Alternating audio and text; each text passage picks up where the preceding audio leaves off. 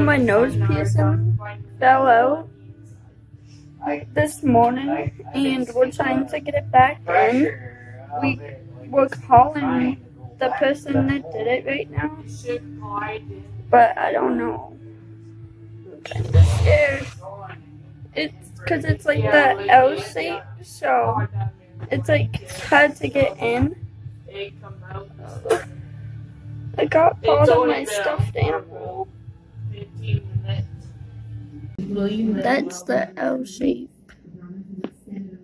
So we got it in, but it didn't hurt as bad as it did like when it first got pieced because it's already healed. But you gotta like apply pressure to get it like back in. But yeah. So that was my morning. Gotta apply rubbing alcohol on it again. So it don't get infected. Yep.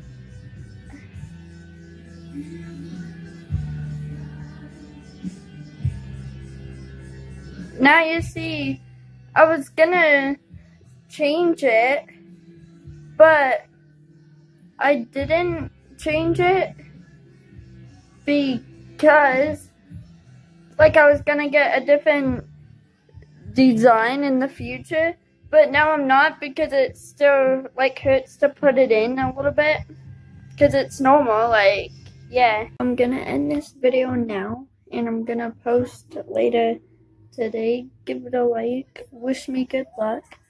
Comment down below if they're not disabled. Hit the subscribe button. See you later today. Bye.